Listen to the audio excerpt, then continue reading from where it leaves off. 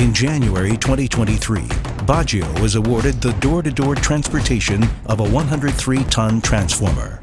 In Italy by road from Brescia to Porto Marghera, then by sea via Bari to Durrës, Albania, and by road to Valona. After the convoy, 172-ton heavy and 36 meters long, arrived at the job site, Baggio prepared a special and custom-built ramp, allowing for skid and jack unloading of the cargo. Eventually, the heavy transformer was smoothly and safely discharged from the 15 axles low bed trailer, marking yet another heavy lift door-to-door delivery, successfully executed by Baggio. Visit Baggio.it to find out how we can help you with your next project.